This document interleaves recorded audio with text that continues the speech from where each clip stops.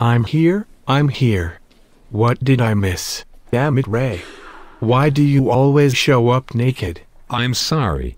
I was just playing Yahtzee in the bathroom. Let's restart. What's up, guys? Welcome to Ray William Johnson. Our first video comes from some guys in France. Sweet video. Yep. And our next one comes from these two guys who play ping pong. And our last video comes from.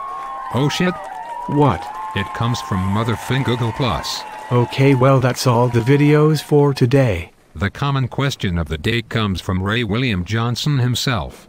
How do you play Yahtzee? Okay, well, leave your interesting and creative comments in the comments section below, or on Facebook, Twitter, or Google. Thanks for watching today's episode of Equals is 3. And Ray William Johnson and I approve this message.